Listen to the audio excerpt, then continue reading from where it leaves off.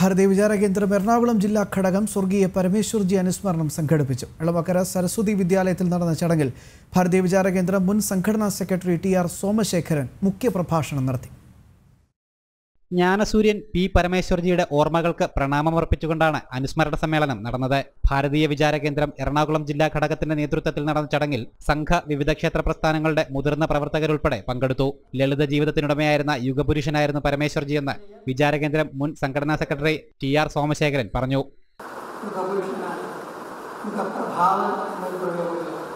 യുഗത്തിൽ മുഴുവൻ പ്രഭാവം മുഖച്ഛായ മാറ്റുന്ന ആൾ യുഗത്തിന് മുഖം കൊടുക്കുന്ന ആൾ യുഗത്തിന് ഹൃദയം കൊടുക്കുന്ന യുഗത്തിന് വസ്ത്രം കൊടുക്കുന്ന യുഗത്തിന് വാക്ക് കൊടുക്കുന്ന ഈ വാക്കിന്റെ അർത്ഥം ഈ എല്ലാ ഘടകങ്ങളും വിശ്വസി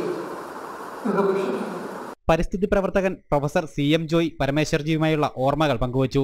ഒരുപക്ഷെ കേരളം കേട്ടിട്ടില്ലാത്ത തരത്തിൽ ഇ എം എസുമായി കൊമ്പ് കോർക്കാൻ ഒരു രേഖകൾ ഉണ്ടായിരുന്നെങ്കിൽ അത് പരമേശ്വർജിയായി നമുക്കറിയാം എപ്പോഴും കേരളത്തിന്റെ സംസാര ഗതി തന്നെ മാറ്റുന്നത് എം ചില വാദമുഖങ്ങളായിരുന്നു അതിനൊക്കെ പ്രതിരോധിക്കാനായിട്ട് അന്ന് പരമേശ്വർജിക്ക് കഴിയുമായിരുന്നു പരമേശ്വർജിയുടെ ദീപ്തസ്മരണയിൽ മുതിർന്ന പ്രചാരകൻ എം എ കൃഷ്ണൻ ഉൾപ്പെടെയുള്ള കാര്യകർത്താക്കളും പങ്കുചേർന്നു.